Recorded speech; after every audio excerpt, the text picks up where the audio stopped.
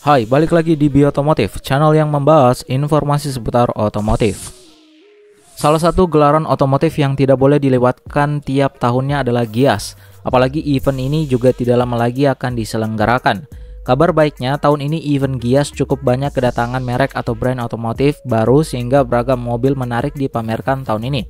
Mulai dari SUV, MPV, city car, dan juga EV. Bagi kamu yang penasaran dengan mobil apa saja yang dipamerkan, kali ini kita akan membahas beberapa mobil menarik yang kamu nantikan saat event berlangsung.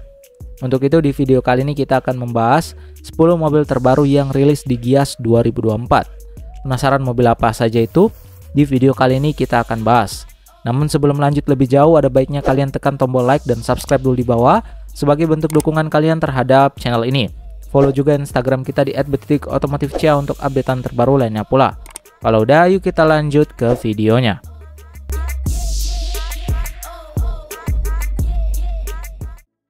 Number 10. BAIC BJ40 Plus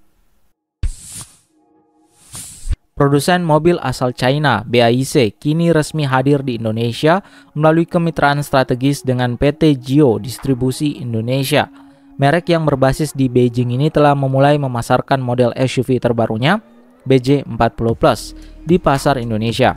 SUV ini tidak hanya akan diimpor tetapi juga dirakit secara lokal menunjukkan komitmen BAIC terhadap pasar Indonesia. Untuk itu, BJ40 Plus hadir dengan satu pilihan mesin yang canggih, yaitu mesin bensin 4 silinder 16 katup 2000 cc DOHC yang dilengkapi dengan turbocharger. Mesin ini dikombinasikan dengan transmisi otomatis 8 percepatan, memberikan pengalaman berkendara yang mulus dan responsif. Sistem penggerak mobil ini menggunakan electronic transfer case dengan center differential lock dan board corner yang sangat andal dalam menerabas medan berat dan memberikan stabilitas di berbagai kondisi jalan. Dengan penggerak 4 roda, BAIC BJ40 Plus mampu menghasilkan tenaga maksimum sebesar 221 tenaga kuda dan torsi puncak mencapai 380 Nm, menjadikannya SUV yang kuat dan tangguh. SUV ini diyakini akan menjadi pesaing unggul di segmen kendaraan serbaguna, khususnya untuk kendaraan berpenggerak 4 roda atau 4x4. Menarik minat para pecinta off-road dan pengguna jalan perkotaan yang membutuhkan kendaraan serbaguna. Tentu sangat menarik untuk melihat secara detail mobil ini di event Gias mendatang.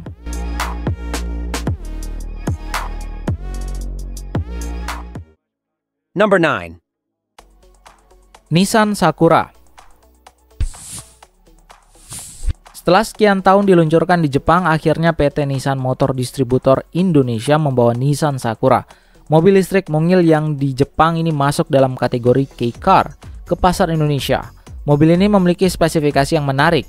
Nissan Sakura dilengkapi dengan baterai lithium ion berkapasitas 20 kWh yang ditempatkan di bawah lantai mobil. Dengan baterai yang terisi penuh 100%, mobil ini mampu menempuh jarak hingga 180 km hanya dengan sekali pengecasan. Motor listriknya memiliki tenaga sebesar 63 daya kuda dan torsi 195 Nm yang disalurkan ke roda depan, memungkinkan performa yang cukup bertenaga untuk ukuran mobil listrik kecil. Nissan Sakura diklaim mampu mencapai kecepatan maksimal hingga 130 km per jam, menjadikannya pilihan yang cukup kompetitif di segmen mobil listrik. Selain itu, kemampuan akselerasinya dari 0 hingga 100 km per jam juga menjadi salah satu fitur menarik dari mobil ini. Saat ini Nissan Sakura masih dalam tahap penjajakan pasar di Indonesia. PT Nissan Motor Distributor Indonesia sedang melakukan survei dan analisis terhadap kebutuhan serta preferensi konsumen di Indonesia. Oleh karena itu, kemungkinan besar mobil ini akan dibawa terlebih dahulu ke event otomotif terbesar seperti Gias untuk mendapatkan feedback langsung dari konsumen dan pelanggan potensial di Indonesia. Dengan strategi ini, Nissan berharap dapat menilai secara lebih baik bagaimana respon pasar terhadap Nissan Sakura sebelum melakukan peluncuran resmi.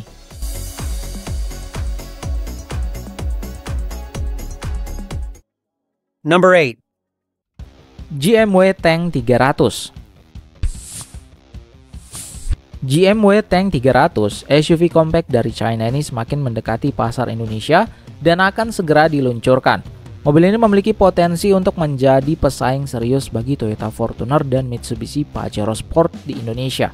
Secara teknis, GMW Tank 300 dilengkapi dengan mesin 2 liter turbocharged inline 4 yang mampu menghasilkan tenaga hingga 220 PS dan torsi mencapai 380 Nm. Mobil ini menggunakan transmisi otomatis, 8 percepatan dan sistem penggerak 4 roda yang dapat dikontrol secara elektronik. Fitur-fitur teknis yang menonjol dari GMW Tank 300 meliputi sistem kendali segala medan dengan 9 mode berkendara, serta kemampuan untuk melewati genangan air dengan kedalaman maksimum 700 mm. Di dalam kabin, mobil ini dilengkapi dengan klaster instrumen digital 12,3 inci dan layar sentuh infotainment 12,3 inci. Fitur standarnya termasuk sistem audio Infinity dengan 9 speaker, AC otomatis, dan berbagai fitur lainnya yang menambah kenyamanan dan keamanan pengguna. GMW Tank 300 diproyeksikan akan diperkenalkan pada event Gias mendatang, menarik perhatian sebagai opsi baru di segmen SUV yang kompetitif di Indonesia.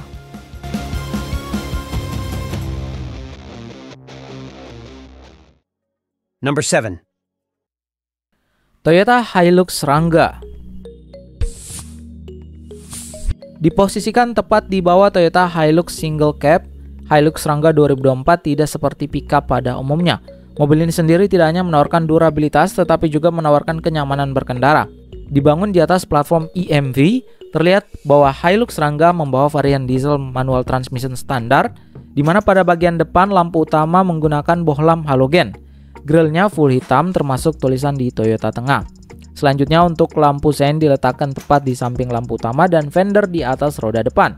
Pada fender sebelah kanan terdapat antena Pride yang dapat dinaikkan ataupun diturunkan secara fleksibel. Sebagai identitas di bagian pintu sampingnya terdapat tulisan Hilux Rangga tepat di samping handle pintu. Mengenai baknya, model yang ditampilkan mengusung bukaan three-way di mana bak dengan bukaan three-way ini memudahkan pengguna ketika ingin menaikkan atau menurunkan barang. Karena selain belakang juga bisa dilakukan dari samping. Hilux Rangga sendiri soal mesin menggunakan mesin diesel manual transmission standar 2393 cc 16 volt DOAC di mana mesin ini setidaknya mampu menghasilkan tenaga hingga 150 PS dan torsi sebesar 343 Nm. Walaupun sebelumnya mobil ini sudah diperkenalkan, Toyota kemungkinan akan membawanya di Gias mendatang.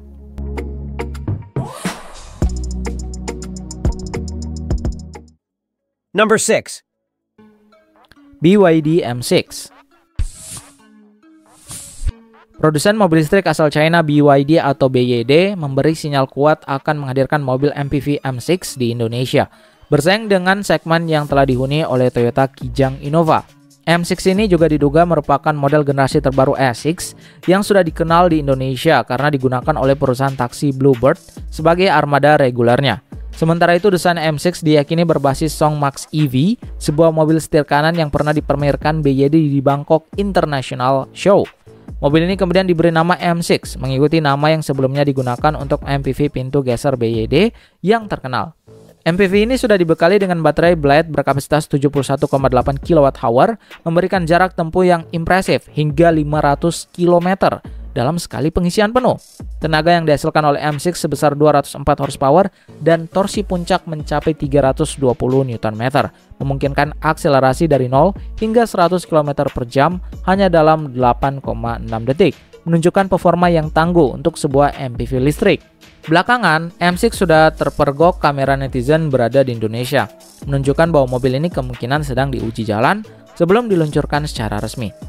Kehadiran M6 di Indonesia menandakan langkah strategis BYD untuk memperluas pasar mobil listrik mereka, menawarkan alternatif ramah lingkungan dengan teknologi canggih dan performa yang memadai.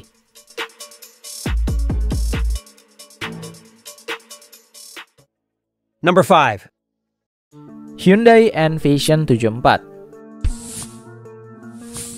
Hyundai kali ini tentu akan membawa sejenak produk atau mobil andalan mereka untuk event Gias mendatang – Salah satu mobil yang paling dinantikan oleh para pecinta otomotif adalah Hyundai Envision 74, sebuah kendaraan retro dengan tampilan futuristik yang bertenaga hidrogen. Mobil ini unik karena menggunakan dua sumber tenaga, yakni full stack dengan kapasitas 95 kW dan baterai berkapasitas 62 kWh.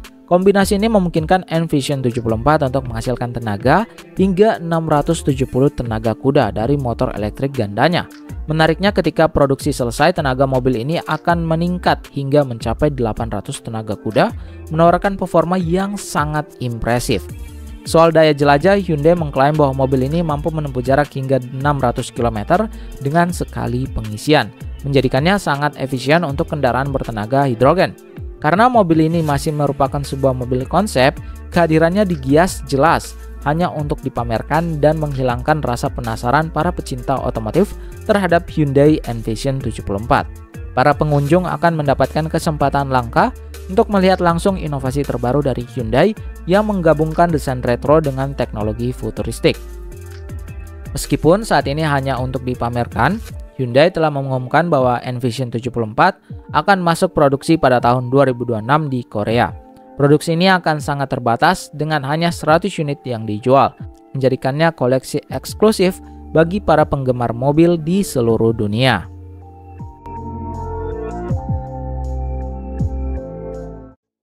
Number 4. Honda Sustaina C Salah satu mobil yang sangat menarik untuk dilihat atau dikunjungi di ajang Gias mendatang adalah konsep mobil berkelanjutan dari Honda.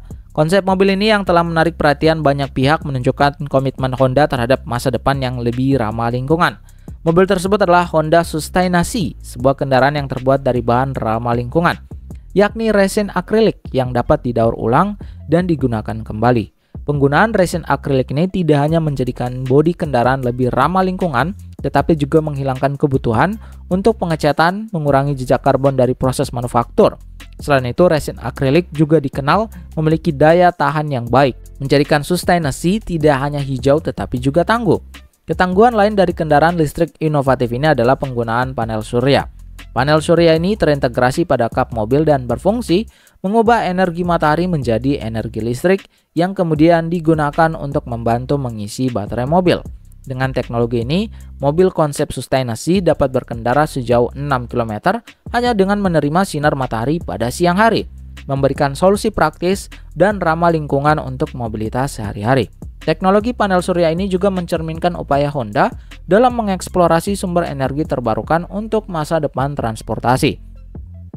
Meskipun Honda belum memberikan informasi lebih lanjut mengenai kapan mobil konsep sustainasi ini akan diproduksi secara massal, antusiasme terhadap mobil ini tetap tinggi. Kehadiran sustainasi di Gias nanti akan memberikan kesempatan langka bagi para pengunjung untuk melihat langsung inovasi terbaru dari Honda. Ini juga menandai langkah penting dalam evolusi mobil ramah lingkungan yang tidak hanya mengandalkan baterai listrik tetapi juga memanfaatkan energi surya.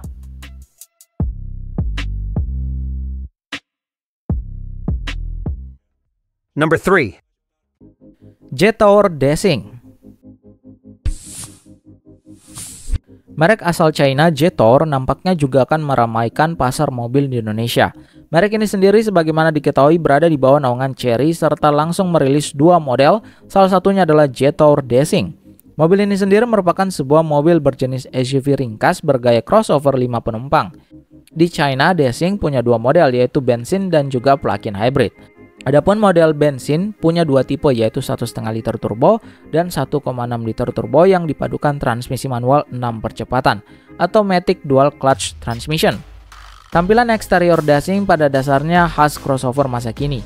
Fascia depan agresif dengan lampu DRL yang sipit dan lampu utama di bagian bawah, di mana bentuk grillnya intimidatif, menyeratkan mobil yang bisa melaju kencang. Interior dashing dilengkapi dengan layar berukuran 15,6 inci serta digabungkan dengan chip performa tinggi Snapdragon generasi ketiga. Soal mesin, mobil ini menggunakan mesin 1500 cc turbo yang dapat menghasilkan tenaga hingga 154 daya kuda pada 5500 rpm dan torsi sebesar 230 Nm. Sedangkan pilihan mesin lainnya menggunakan mesin 1600 cc yang sanggup menghasilkan tenaga hingga 194 daya kuda serta torsi sebesar 290 Nm. Adapun Dasing sendiri bakal meluncur di Indonesia melalui mesin 1500 cc dan langsung berhadapan dengan pesaing seperti Mitsubishi X-Force, Honda HR-V, serta Hyundai Creta.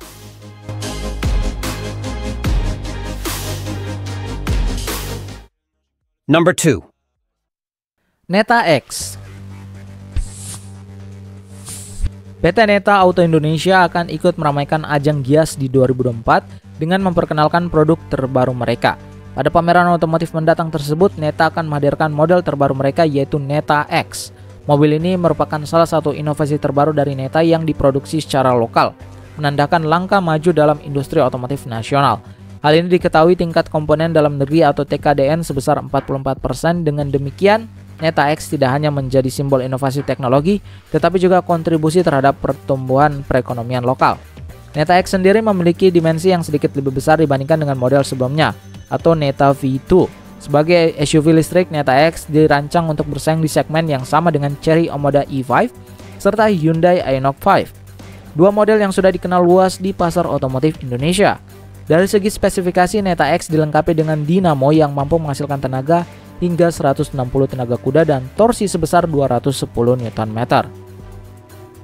Memberikan performa yang cukup tangguh untuk kendaraan listrik di kelasnya.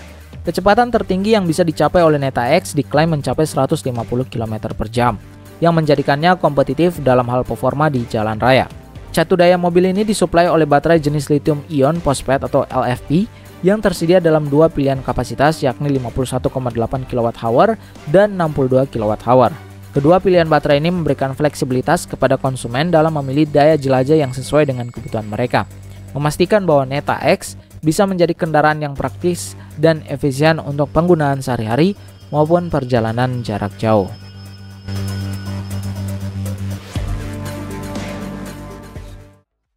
Number 1. Suzuki EVX Susul sejumlah merek otomotif lainnya, Suzuki juga tidak mau ketinggalan.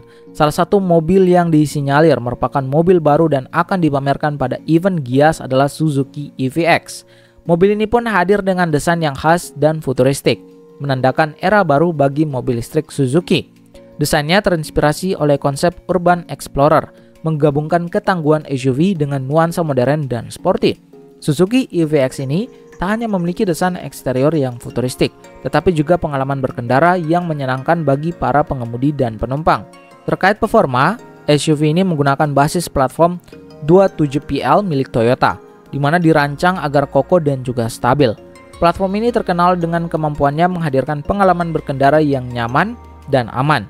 EVX pun diprediksi akan hadir dengan dua baterai yaitu 40 kWh dan 60 kWh Kapasitas baterai yang besar ini memungkinkan SUV ini menempuh jarak hingga 550 km dalam sekali pengisian daya. Cocok untuk perjalanan jarak jauh tanpa rasa khawatir.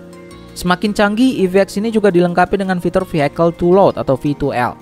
Fitur ini memungkinkan mobil untuk menjadi sumber energi listrik eksternal yang dapat digunakan untuk berbagai keperluan, seperti mengisi daya perangkat elektronik atau menerangi area di sekitar kendaraan.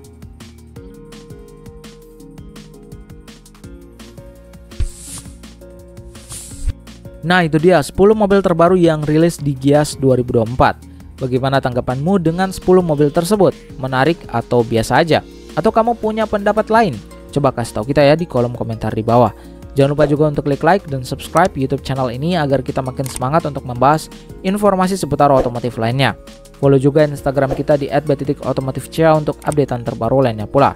Kalau kamu sedang nyari aksesoris mobil menarik lainnya, bisa cek link deskripsi video atau kolom komentar di bawah. Kami pamit undur diri dan salam otomotif.